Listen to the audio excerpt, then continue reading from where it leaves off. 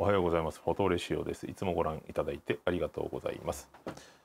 えー、今日も Vlog でございます。いつもと画角が違いますね、えー、画角も違うんですけれども、撮影しているカメラも違います。いつもはこちら、ブラックマジックポケットシネマカメラ 4K で撮影しているわけなんですけれども、まあちょっとね、あの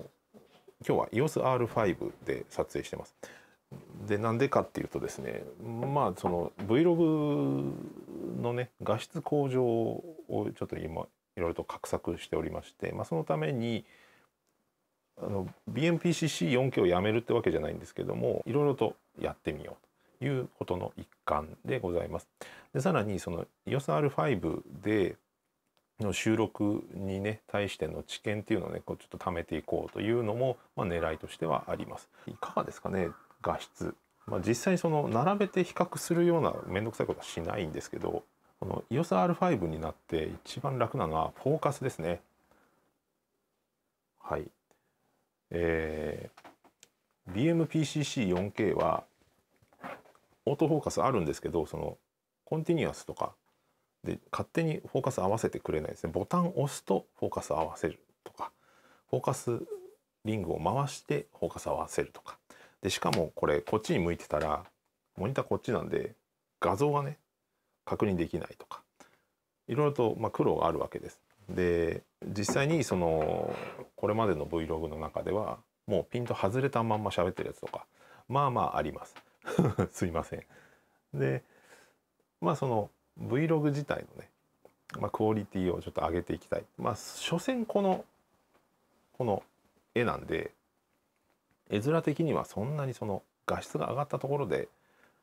あの大した影響がないというかあのそもそも 4K で撮るほどの絵でもないっていうのもあるんですけどそもそもね、まあ、なんですけど、まあ、画質の向上を図りたい、まあ、その一環でまず今日はちょっと R5 を使っております。R5 に RF1535F2.8 R5 の内部記録ではなくて R5 の外部出力を通じてここにある今ねこのモニターで見てるんですけどえー、ブラックマジックのビデオアシスト 12G 外部収録機能付きのモニターですね外付けモニターを 4K の信号を飛ばしてそこからそこで SSD に記録するという手間をかけております。でなんでこんなことしてるかというとですねプロレズ422という、ま、コーデックで収録できるんですねこれ。編集用のコーデックなんですけどで撮影できるのあの収録できるのでこっちに外部出力しております。色はねログキャノンログ3この間のバージョンアップで搭載されたキャノンログ3で、えー、出力してると。いうことでございます。いかがですかね。でもパッと見も色も違うしこの画像の精細感というか、うん、まあ違いますよね。とにかくちゃんとピントが合ってる。ピントが合ってるっていう安心感はね素晴らしいですね。BMPCC4K はねピント合ってるか不安になりながら撮ってるんですよ。でしかもこうやいうこういうね前後の動きにピントが追従しないんであの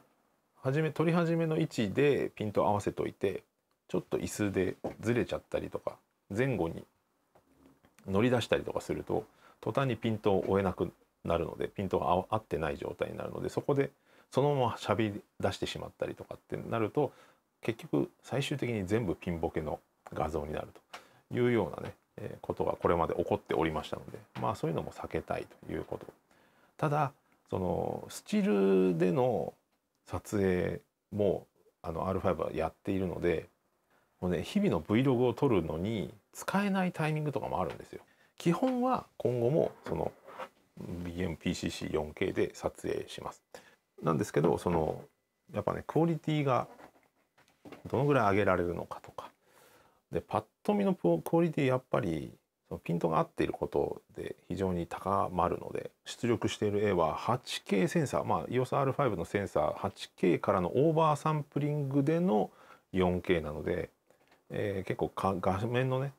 その画像の緻密度が違う結構高いいい絵のはずです。ファイン。で、えっと、外部出力で R5 では撮影してないんですよ。録収録してないですね。でもう外部出力の信号だけで収録しています。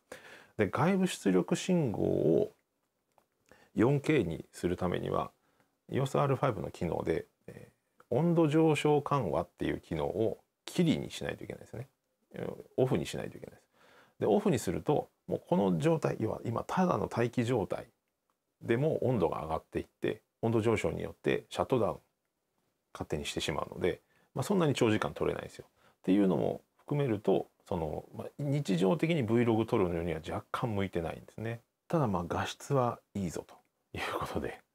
今日はちょっと R5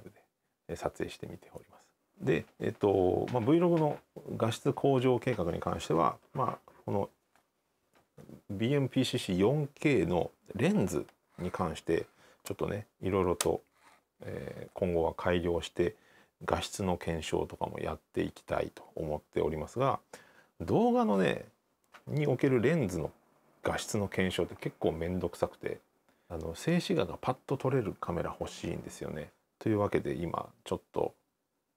マイクロフォーサーズのボディを今ちょっと検討しています。ちょっとなるべく安めでそこそこの画質で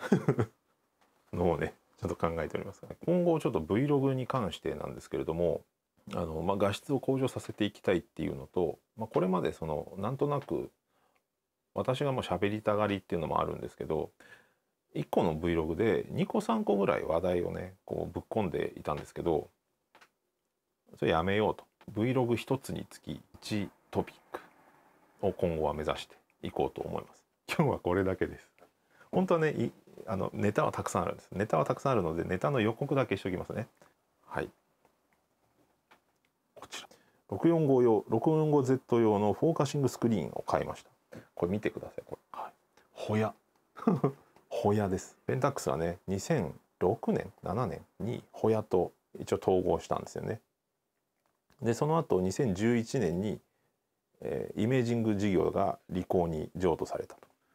ということなのでこれ実に15年ぐらい前のシールですねはい どんだけ売れてねえんだっていう ことですけれどもまあ、このフォーカシングスクリーンを買ったのでこれの交換をね今度次回しようかなと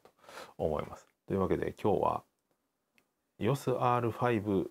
で Vlog を撮ってみたということでございました。でまああの画質のねえっ、とまあ感想とかもしあれば教えていただければと思います。EOSR5 がいいよなのか、まあ、この画角がいいよなのか、まあ、ちょっと何でも構わないので感想を教えてくれたら嬉しいです。ではまた次回の動画でお会いしましょう。さようなら。